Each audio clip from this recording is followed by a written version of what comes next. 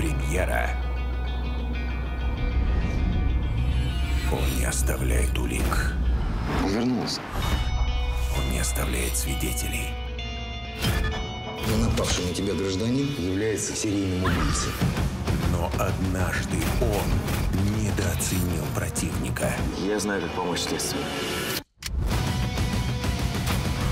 Чтобы поймать маньяка, нужно почувствовать то, что чувствуют его жертвы. Я могу чувствовать пульс других людей.